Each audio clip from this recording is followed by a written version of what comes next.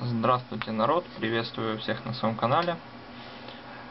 Сразу же говорю, не забудьте подписаться, ставить лайк, дизлайк, если вам понравилось. Ну, желаю хорошего просмотра. Ну и так, начнем. Пришла мне вот посылочка с Китая. Шла она на удивление 30 дней. Э, здесь находятся увеличительные платки. Ну и чтобы сэкономить ваше время, я ее вскрыл заранее. Запаковано было, я одну платку оставил. Вот так. В антистатике. Все довольно неплохо. Единственное нарекание на продавца. Я удивляюсь, как, кстати, как она доехала без повреждения. Вот, как видите, здесь кроме целлофана больше ничего. Ну и так продолжим. Вот автор, от второй антистатик тоже остался. Да, и чтобы не занимать ваше время, вот я уже приделал проводки. Сейчас будем подключать. Для подключения буду использовать вот такую 7 амперную батарею и вот такую 17 амперную батарею. Поскольку у меня питается вольтметр от вот такой батареи 7 амперной и чтобы ну, не сбивать данные запитывать все от одной батареи я к разным батареям подсоединю это все дело. Ну и посмотрим сейчас на результаты. В принципе, я ее уже проверял, она рабочая, пришли оба хорошо. Заказываю у этого продавца. Итак, народ, включил я вольтметр. Ну и сейчас будем проверять. Вот на плате указана стрелочка, с куда должен быть выход, вход с этой стороны. Ну и подсоединим сейчас к нашим проводам на вольтметр переключен на другой аккумулятор, поскольку так удобнее будет. И ставим в этот аккумулятор.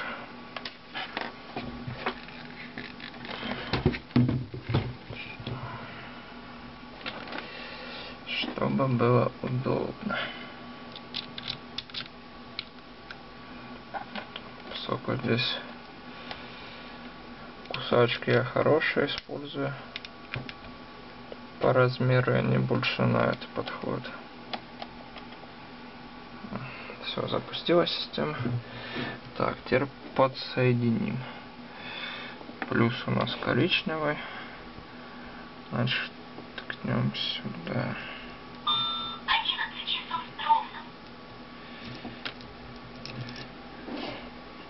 Минус у меня синий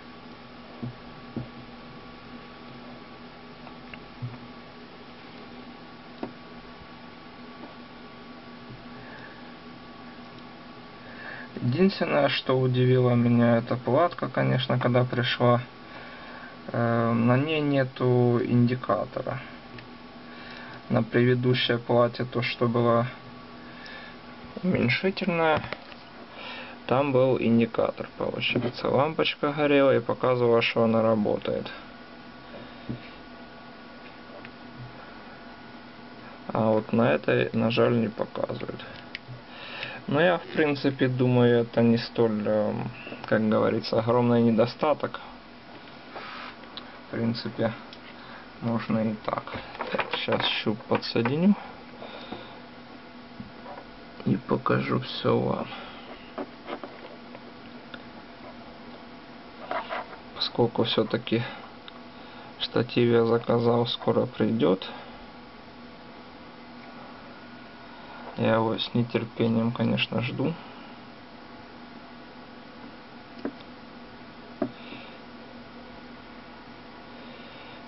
Так, и что-то странно. Вольтметр ничего не хочет показывать. Это означает только одно. О, угадал. Вот, превышение вольтажности за 20 вольт было. Так показывает 26. Так, ну и сейчас начнем крутить платку. Переменный резистор сначала вперед повышать будем. Я правда не помню до скольки она, эта платка, но вроде до 35 вольт, но я до 30 вот накручу. Дальше буду вниз лучше. Поскольку конденсаторы... А, ну, не страшно. Конденсаторы на 50 вольт на выход идут и 35 на вход.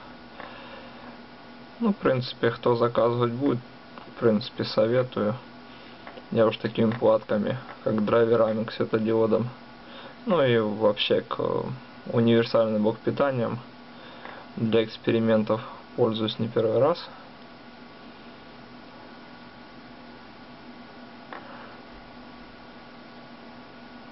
Ну, до нуля на... А оно даже все вот дальше не крутится. На аккумуляторе 12,4 вольта. Дальше оно не крутится. Ну вот, пошло дальше.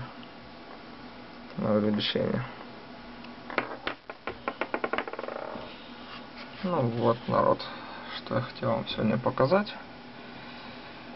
Вот такая платка. Э, собрана, кстати, довольно качественно. Поскольку китайцев я такую не первую заказываю. Просто не все я снимал видео про них и не выкладывал в YouTube. Поскольку заказывать я стал довольно еще раньше, чем создал канал в YouTube. Ну, вот и все. Спасибо всем за внимание за то, что досмотрели. Подписывайтесь, лайкайте, дизлайкайте. Всем до свидания, хорошего настроения.